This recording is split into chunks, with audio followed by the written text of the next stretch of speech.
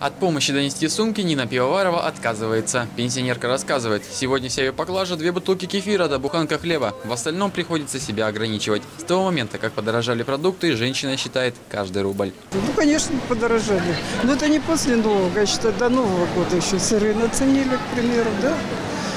В общем-то, потому что был спрос.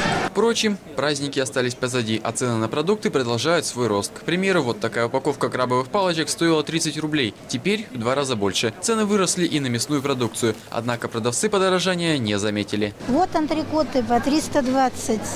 Обычная, что летом цена? при пенсии, ну да, при пенсии это 10 тысяч 9. Это реально покупать пенсионерам? Продукты очень, продукты очень подорожали. В магазинах мясо намного дороже, чем на рынке. На рынке брать дешевле. Цены у нас никак не подорожали. Так что не накручивайте обстановку. Стоит отметить, истинную цену мяса определить сложно. По рядам на продукции нет ценников. Как правило, стоимость называют сами продавцы, хотя не везде все так неоднозначно. А вот во фруктовых рядах подорожание уже просто-напросто не утаить. Посмотрите сами, на этом стеллаже самые дешевые мандарины стоят 120, яблоки стоят также 120 рублей. А ведь до Нового года все это было дешевле на 15-20%.